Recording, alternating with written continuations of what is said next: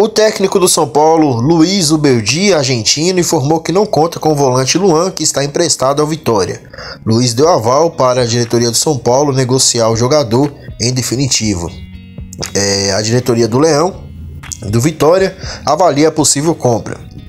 Eu acho sim que é válido, vale seu investimento, jogador jovem, promissor, bom jogador. Só basta também o Léo Condé colocar ele para jogar mais, porque a diretoria contrata, mas o Léo Condé não coloca para jogar. Não entendo isso, né? Fala Carlos Futebol VIP.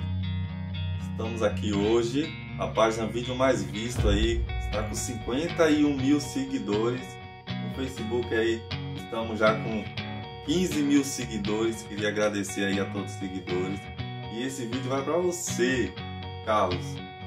Futebol VIP, torcedor do Vitória.